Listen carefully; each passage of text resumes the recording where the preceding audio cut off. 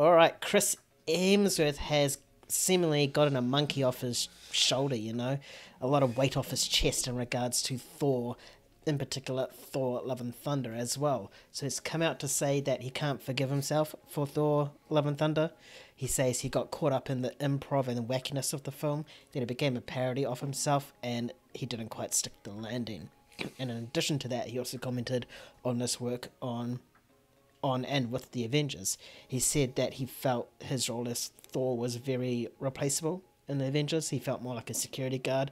He would read everyone else's lines and see that they got cool stuff to work with and that they were having a lot more fun. Whereas Thor, he just got a wig, a costume, and muscles, and that's three things you can literally replace with any big butch white person for Thor, mm-hmm. I guess.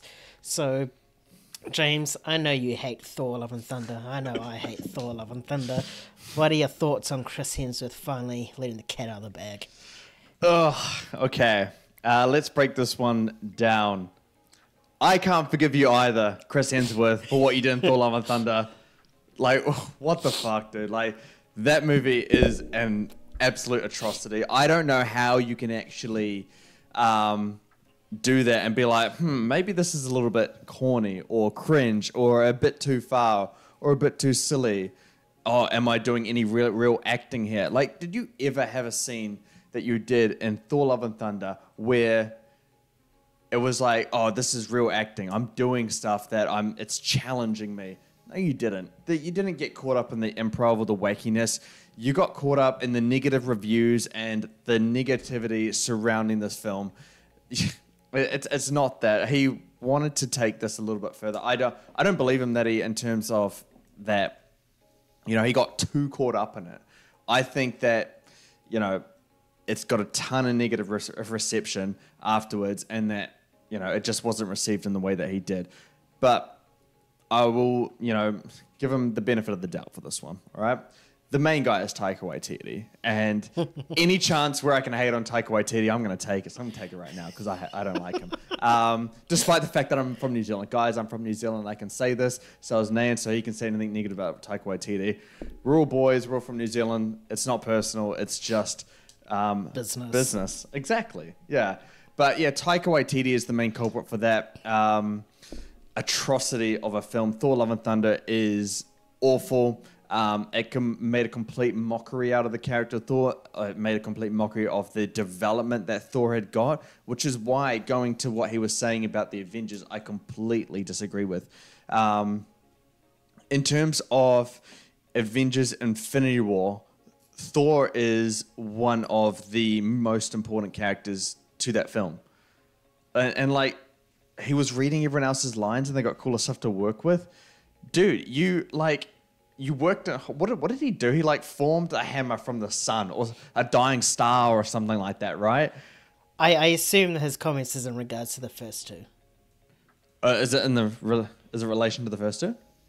I, I assume it's not confirmed. He just says the Avengers. So Yeah. I'm just assuming it's the first two because those are the first two where he does sort of seem like a guy that can just be replaced. Okay, in in that sense, yeah, but it's we we we okay, he has to specify that because if we if we're gonna say the Avengers, we're gonna say all four of them, and I can kind of see that in um, the second Thor.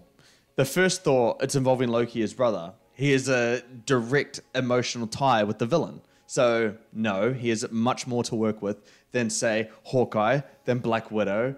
Uh, easily starting there. Avengers 2, he kind of takes a back seat, but you know, the- these are massive crossover movies. Someone has to take a back seat in some of these kind of films. Avengers Infinity War, he's one of the coolest entrances in any comic book movie ever. So I, I don't know where he's where he's going with that. He's also the first Marvel character to get a fourth film. Like th- those comments are- completely unjustified. Uh, yeah, I- I completely disagree. I completely disagree with everything that he's saying here. But overall, no one can forgive you for what you did on Thor 4. And the fact that you're getting a fifth movie, um, this is your chance to make redemption. Make redemption, all right? In the character at Thor 5. I'm I'm done with Thor. I can't do there's been three bad Thor movies. Um, I, I loved one of them, but just just at least redeem yourself and get out while you still can, dude. That's all I got to say for that one. Yeah, yeah. If if Thor five is just as bad as that, where it's like that he falls into the improv and wackiness. Oh, worst Then we cha- know- worst character in MCU history, easily, easily. Yeah, And and then we also know that all his comments right here is just absolute bullshit as well. hundred Which percent. is which is now like what when did it come out? Twenty Two two years too late. Mm-hmm. Yep. You know, he probably should have addressed it. Maybe not straight away because that will Mm-hmm. box office runs, but at least like once it left theaters, you know, just like, oh yeah, I fucked up. Thank you for the money, Yeah, sort of Yeah. thing. But yeah, I, I I'm with you. I don't really buy into him saying he can't. Actually, I can. Like, yeah, he did a bad job and he's an idiot for even reading the script and agreeing to it and not challenging it. yeah. Um, but hey, he can improve on it with the next one, and Mm-hmm. I guess all eyes will be on him for Thor five to see what he can do. Hopefully, Taika's not uh, directing it because He's he's not. hair. Yeah, at least from what I've heard, Taika will not be directing it, and we are going to see if it's Thor, or I mean Chris Hemsworth, um, or Taika. Yeah. I, I think we already know the answer to that. we sure do. But like, he's a professional actor. He's been doing this for over a decade now. How do you get caught up in the improv and wackiness? I don't know. Maybe it's like you know, you have a really good friend that you can just like goof around with, and maybe you saw that in Taika, and so he just decided to bring that onto set, not realizing that it's his actual job, and so he just got caught up in the Mm. fun and the wackiness that it was to work with Taika and that crew. Yeah, That I he don't. just forgot that he had a job. I don't know. If portray. all I know is that if Thor five is bad, Chris Hemsworth will have more bad solo superhero movies than any single character. Like it, because there's four, there'll be four bad, and the first one's it's it's okay at best, but it's still not great. It's just there's no excuse for this. The character is all over the place, and Thor Ragnarok, I think Taika Waititi did a really, really good job. How I'm giving praise to Taika Waititi, I must be drunk. But he he he completely reinvented the character in a really positive way. I, I like Thor Ragnarok. I like what they did with the character. The Russo brothers came in for Infinity War and gave him a, you know a ton of soul and made him an extremely empathetic character because Thor had lost so much throughout his time and and then they just make him fat in the in, Endgame, and he, they just kind of kill everything.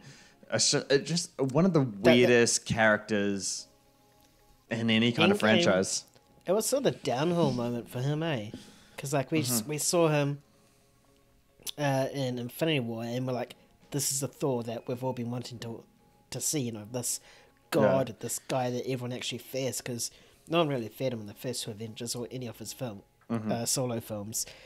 Um, and then that happened, and then that first like 10, 20 minutes, we're like, okay, cool, just walking straight up to Thanos and beheading him. You know, it's like shit. We're gonna see like a more cold-hearted Thor, and then five years later, he's a fat guy playing Fortnite. I mean, yeah, pretty much. And it's not the fact that you know he, he's fat or he's given up and he just he has no you know compelling reason to try. It's the fact that when the threat of Thanos comes back or the hope of bringing back everybody, he still just stays that way and he's sort of written off as a joke as a joke for the entirety of the movie. And so if he's talking about how he's replaceable in the Avengers movies, I can see probably how he is replaceable in the Endgame because he just goes back to being a joke. And then he gets he's more of a joke in Thor 5. Like it's just oh, it's completely ridiculous. I feel I honestly feel bad for the entire Thor character. In Thor 5 on a positive note for the character, he deserves it. Yeah, we'll have to wait and see. Hopefully, we get better details and a better director and better everything for Thor five. Send him off on a high note. You guys there, can you forgive Chris Hemsworth for the atrocity that is Thor: Love and Thunder? James did a big shake of his head. No, I will do a little one to make up for it. um, and I'm sure you guys will hit on the comments and let us know if you think we're idiots. Then we'll tell you you're an idiot back and to go watch that those that film again. Um, and hopefully that will change your mind. If you're a Taika Waititi fan, don't even bother commenting. Just unsubscribe, please. you don't want you, he's here. Brutal. All right.